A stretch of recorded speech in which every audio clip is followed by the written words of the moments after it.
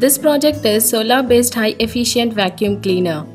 This project can capture even 40 micron small dust particles. This is photovoltaic solar panel which converts the light energy into the electrical energy.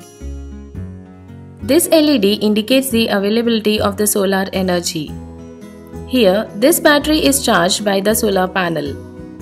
This diode prevents reverse current flow from battery to this solar panel. This bridge rectifiers gives protection to the circuit even if you connect the battery in reverse. This 7805 voltage regulator supplies 5 volts to all the sections. We are using this ADC to measure the battery voltage and display it on LCD. You can adjust display contrast of this LCD by varying this preset. Slide this to switch on the vacuum cleaner.